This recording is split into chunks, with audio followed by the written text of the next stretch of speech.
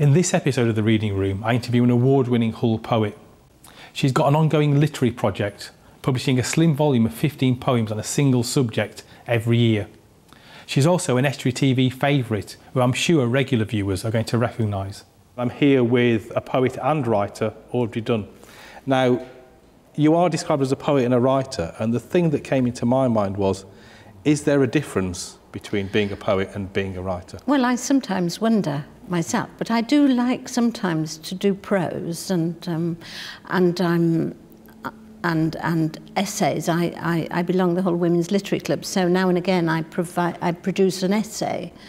Uh, I, I also like writing letters and nowadays emails, but um, things like that. So I do do a lot of prose writing.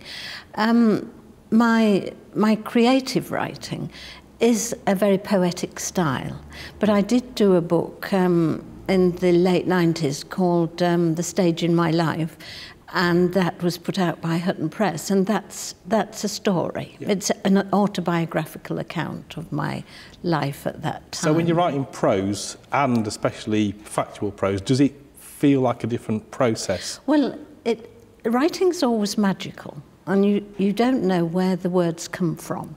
They kind of form themselves in your head out of the air. So there's always a magical process in writing. But um, in poetry, that is more so. In poetry, I kind of wait for the lines to appear. I don't rush them through.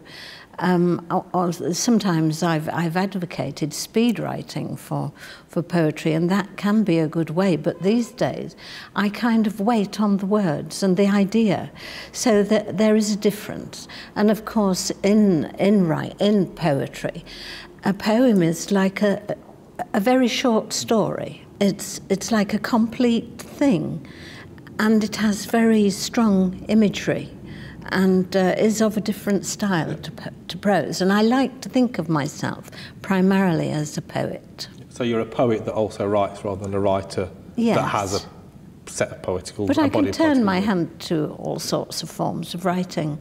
And in the early days when I was writing, you know, you're finding out what sort of a writer you are. But poetry is, is my, my forte, you might say. In, in terms of engaging with the wider world as a writer. Uh, Wordspin that you did with, or you do with Alec Gill. I do. That's a very socially engaged uh, type of work with writing. Are you a socially engaged writer or are you a socially engaged poet? Well, I like to be socially engaged and I do like my work to be accessible. And that's why, if I'm doing a poetry reading or anything, I do believe some people say, some poets say, that a poem should stand on its own. But I don't think it does. I think people do appreciate context, and I like to reach people with what I'm writing, although some of my poems are a bit obscure poetry does is obscure.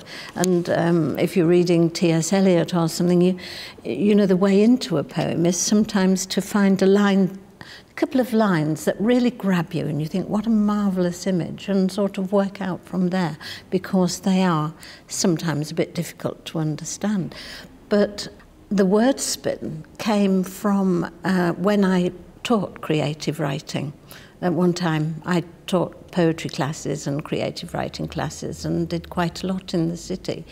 And, um, and with Alec, we, we hired a van uh, there was something called, uh, there was a Northumberland Avenue Arts Centre. I remember it well, yes. Do I've been, you? I've been there was, several times It was very good, events, yeah. and it was the brainchild of a lady called Pamela Della, who's, who's well and truly uh, passed away now. I, I did workshops there at Northumberland Avenue, some weekends of workshops and we decided to take a van out on the road. And Alec and I had a buzz session looking for a title for ourselves and uh, came up with Wordspin. And the logo is a, a, wheel. And we had some fun. We took it to the pier and we took it across the river and got people writing. One man in particular um, now then uh, Mr Young he, uh, he, he did his memoirs called Young at Heart, and he went a long way with that. He was elderly. And uh, so we had a fun, and then we started to um, produce, if we work together, Alec and I, which we did sometimes, we did some memory, uh, create, uh, remembrance. Yes, fact, I've read the, I've read the yes, book. Yes, workshops. So one, our very first one has recently been used at the Ferens uh, in the uh, First World War memorabilia exhibition.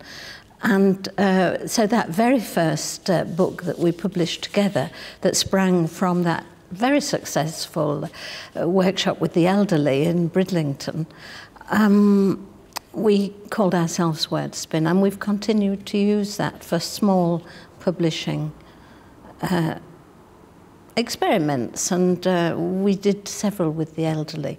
Whenever somebody says I teach creative writing, in my case, music, something that I always want to ask, not just other teachers, but I ask myself constantly is, can you teach a creative process? In a way, it's got to be in there. But on the other hand, sometimes you can bring it out. Yes, you can make a place to bring it out, and people find they can write when they didn't think they could. And, and the Bridlington workshops were a case in point. We had great fun with that. And people said, I can't write, you know, and we got everyone writing. And that was a fun thing to do, creating creative writing workshops. I did some at Hull Truck many years ago, well before it moved, and uh, some at um, uh, the university. And, uh, but some of my most successful ones I thought were in adult education. And we had great fun there uh, in creating a book out of a class, and we we devised all sorts of. I devised various exercises and all sorts of things we could do, and people were always surprised with what they produced. Of course, sometimes you got people who came to those classes who thought, "Now, shall I go to microwave cooking or shall I go to creative writing?" So their hearts weren't always fully in it, but they were mostly surprised at what they did produce and found it a very interesting thing to do. It's always, I think, gives confidence to students of any kind of creative process if you've got a teacher that has some sort of kudos and some sort of reputation. And I remember the last time you, I saw you reciting some poetry, it was actually for the launch of one of these books we're going to talk about in a minute. You said that you'd run a poetry prize. Recently. I did. Yes, yes I Tell did. Tell us a bit about that. Well, I went to a poetry reading. I tried poetry prizes off and on. And um, I, I went to a poetry reading at the university, and uh, a very good poet who was a woman poet who was at, for the uh, poet laureateship uh, and was one of the people that I think was considered at the time was U.A. Fanthorpe, Ursula Fanthorpe. And there weren't all that many, you know, when po poets go to, to read, sometimes they just have a handful of people. Yeah, there. I've been to a poetry reading. To be fair, there was a reasonable number of poets. There were six of them, six. but they did outnumber the audience. yes, it happens, yeah. doesn't it? Because people are a bit scared of poetry, I think. But um, uh, yes, you see, she was about my age, U.A. Fanthorpe, and afterwards I was sat on the front row and she came over to talk to me, and I said, It's so difficult to get poetry out there, you know. And she said, Well, why don't you try the competitions?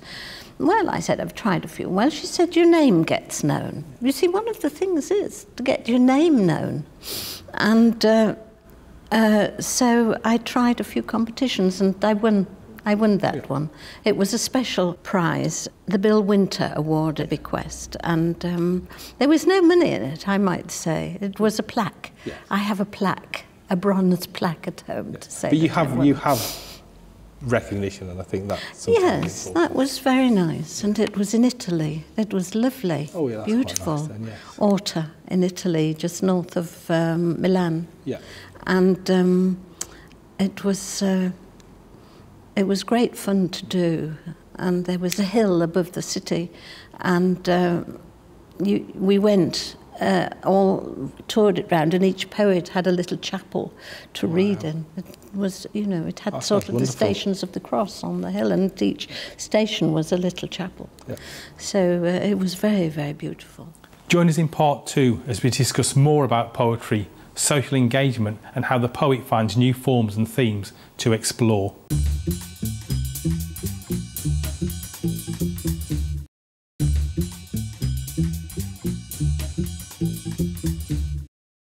The project that you're doing at the moment, which I find fascinating, is the self-published, or they are self-published, but the, the slim volumes of poetry, and I love the phrase slim volume of poetry. Oh, that's very nice. I haven't used that Have one. you not? They, no, I, think, I shall know use you that. describe them as a pamphlet, and I like pamphlet, I like the idea of being a pamphleteer as well. Yes. But I do like that. I do like, there's something about a slim volume of poetry that That- stands. I think that is better. I shall alone. use Right, that if you there don't mind, Darren. More, more than welcome. I think it's a good one Yes. to put around, don't you? Uh, and the two that you published so far is Humberlands and Sealed with a Loving Kiss. And if I'm right, the idea is that you yearly pub- are publishing 15 poems Hmm. around a specific subject or Yes. set of Yes. set of subjects. Now, the first thing is, I know in the past when everybody, anybody ever mentioned self-publishing, the thing that came to mind was vanity publishing. Yes. Yeah. Uh, these don't seem anything like that. And these days, self-publishing is something that is... You can achieve a lot more by self-publishing. It's not a case of basically someone Yes. charges you a thousand pounds to get your poems published or your book published. Yeah. People are doing it as a genuine alternative to Yes. going to a publisher's. How successful has this been as a publishing exercise? Well, I see it as a project. And I got this idea from um, talking to a, a poet and short story writer friend, and um, uh, that Dylan Thomas had done early pamphlets. But you find even Philip Larkin's first book was kind of sponsored. Um, Yeah, he was a halfway. He wasn't vanity publishing, but he was a he had it was a hands-on experience for him. He had all the toing and froing. yes. It was a very a, a s- publishing house that yes. was very tiny by comparison. very, very tiny and very local. Yes. And it certainly put him on the map as a poet. But uh, um, you can find any number of poets who've had short pamphlets, and mostly it's been either a small publishing company and something they've been closely involved with. And uh, there, there are a number of small publishers. They've been the Hull who, you know, would take on your poems and such like. And we still have now some excellent and well-regarded small Oh, poetical publishing houses. Blood oh, Axe being one of them. absolutely, and local ones are very important, you know. I went to the launch of Sealed with a Loving, a Loving Kiss, and it seemed extremely well attended. It did, didn't it? Yes. Well, um, I'm fortunate uh, in having Alec Gill as my partner, and he is very good on getting your publicity out. And But I, you had a fan club there as well. I had a fan club. Yes, and, yes. and, and it did really feel like you had a set of fans It- in the audience. Yes, well, you do. You do get uh, a few people who know you've been around and on the scene for a long time. And I have, I did have a, a book published by Hutton Press called um, "The Stage in My Life," which was about uh, my early days after my divorce, surviving as a theatre landlady, and uh, and so people knew me for that. That was. Um, recorded on Radio Humberside in 15 episodes, and I read them myself. So I've been about in the city as a writer for a long time, and I did contact a lot of friends, and uh, Alec put me on Facebook, and um, you do, if it's quite hard work if you do a self-publishing uh, volume, because it won't go anywhere unless you get busy making sure people know it's there. You've got to really work quite hard at that. And um, Alec did, uh, well, he presses me to it. He keeps me at it, you see. we always did. When we worked together, we always got our books out. So it's gradually developed between us that we expect to have to work at it and make sure. And these days, you know, we have Facebook and we have our emails and, and um, so the word gets around. My literary club always supports Yes. me and uh, and really respects my efforts in in in this um, process, or as I call it, um, a project. I see it as a project, you see. And I have done it before. I did it oh, in the 80s, I did a, a similar project, but not so intensively. And I've gained a lot of experience. And it then. is a really interesting project, especially as a poetic exercise. It, Larkin, who's not always great at explaining his creative processes. No. Uh, he almost made a po point of not explaining his processes. Yes. But the, one of the few things that he did say, and I think was very incisive, it was about fi finding or coming across a poetic moment or a poetic emotion, and then that was what was created, what created the poem, ultimately the spark. And a lot of poet, poets seem to wait for kind of inspiration to create the poems. But you're setting yourself a task of 15 poems in a year about a specific subject or a range of subjects. How does that affect your creative process? Ah, well, some of the poems I've had a long time. Right. I've always written about the river. I've always been influenced by the Humber. I've always been influenced by the fact that many of our city, many people have been connected to the sea. In fact, my own father was a merchant seaman, Alec's father was a merchant seaman. So there've always been connections, and I feel that runs in my blood, you see. So that's always, and sometimes I've gone to the, to the pier or, or up to the Humber Bank and I go there and scribble and see what comes sometimes. Um, I might have a vague idea in my head, um, but I, I do understand uh, what Philip Larkin means. And I, I'm, I'm researching a paper for the Literary Club on Simone de Beauvoir, the French philosopher. And I came across, I was reading some of um, Sartre's letters to her. And uh, he's in the army uh, on uh, the border of France and Germany, uh, defending that particular area. And um, he said, he sometimes says, oh, it's poetic. Something happens that seems poetic. And, and I think the poet sometimes sees that poetic moment and sees that there's poetry in a particular scene or a particular action or a particular person. I know I was working on a poem about um, uh, about um, John the Baptist. I wanted to do some religious poems. I wanted to follow in the steps of Boris Pasternak and Anna Akhmatova, uh, Russian poets I greatly admire. And I wanted to do some religious poems. I've only, I, I've only done half a dozen. I don't think I can get 15 together. You see, you have to be able to gather them up. You're not writing new ones all the time. And I, I started this poem about John the Baptist because I had this particular idea, it occurred to me, about just before, uh, uh, yes, just before he goes into prison and has his head chopped off. Um, uh, you know, uh, he meets with Christ on the edge of Galilee and, and he says, Are you really the Christ? And Jesus says, Well, all these things are happening. And it seems as if neither of them quite know. And nobody had explored that idea. So I wanted to explore it. And I went to McCoy's Cafe, which uh, is a place I like. And um, a girl came in, and she was um, Salome. Salome. Salome, that's it. This girl was Salome. And I couldn't take my eyes off her. And I, I got the whole middle of the poem right. from seeing Yeah. her. So it's like having a poetic Yes. moment, as Sartre And there's a bit of synchronicity or a bit of uh, Yes. serendipity A bit that of you serendipity. happen to be right in the poem, and then the poetic's part of the poetic subject matter. sees it. Yes. It is most amazing. Now, I was having a reread of both volumes uh, this week, and I was reading, is it Swans at Barrow Haven? Yes, And what popped into my head was Wild Swans at Coole.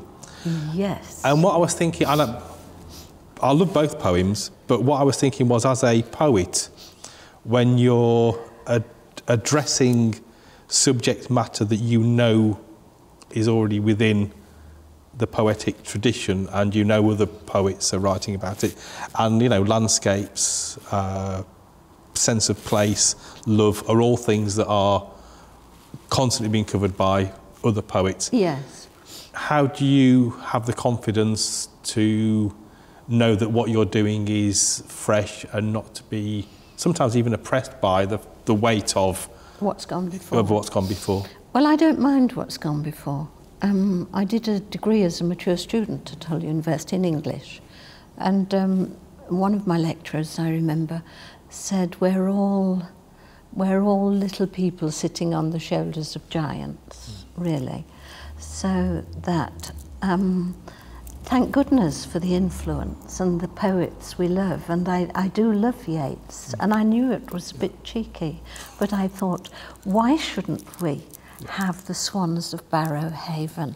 If people want to make that link with Yeats because of the swans of Coole Park, or is it at Coole Park, um, all right, I don't mind if they make that link. And my next um, book, I, I'm borrowing from Yeats again. Because these people are a great influence on us, and I don't think it matters if we kind of occasionally echo a little something that's settled in our minds from them. And um, he did he did a series, a short a short series, I think, if I remember rightly, called "Down in the Sally Gardens." Which are in Dublin, I do believe. I haven't been there, but if I go to Dublin, I shall. And next year, I'm, I'm taking um, a leaf out of his book and I'm doing autumn walks in Queen's Gardens. Because why shouldn't we have Queen's Gardens commemorated in poetry? And should those poems become famous, which of course, you know, we, fame is the spur, we always hope that they will be liked by many people and speak to many people, then um, why shouldn't Queen's Gardens be resonate with that kind of idea? But again, and I've borrowed as well from for the next one. I don't want to sound too highbrow for my my readers, but I've borrowed from the Japanese poet Matsuo Basho on haiku, and I'm doing a sort of thing of prose and poetry in the next one, and I'm well on with that. Are the haikus very formulaic in... No. They're, they're, are they, are they, they they're closer my, to... My, right. my answer to right. So you're to not going form. for the 17 syllables? No. More, so closer to maybe no. imagist poetry than... Yeah, that's right. Yeah. Uh, HD, did you ever come across her? Hilda Doolittle. Yes. She called herself HD. Well, she's, she's a great mentor of mine as well. You see, these people are mentors, aren't they? Mm. Like you read them and read them and you think, I just love the mystery of those short words ending on a, a cliff a cliff edge, a chasm, they're going to fall down. So I've, I, I've worked that out, but in my own style. Well, Audrey, hopefully, when the book comes out, we'll be seeing you again and talking just about the new book. Yes. Yes. So thank you very much for joining us here on the Reading Not Room. Not at all. It's been a delight. Thank you very much, Darren. In this series, we've undoubtedly proved that the region's got a plethora of writing talent and that we can welcome writers with an international reputation. I really hope you've enjoyed these conversations as much as I have, and I look forward to seeing you once again in the Reading Room.